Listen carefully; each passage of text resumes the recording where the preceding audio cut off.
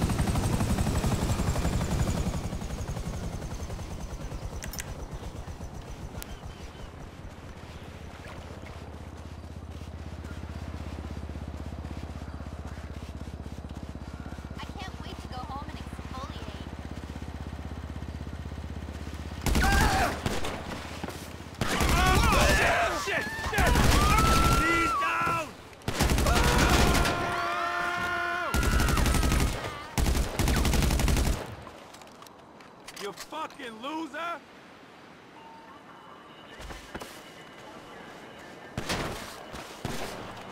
You fucking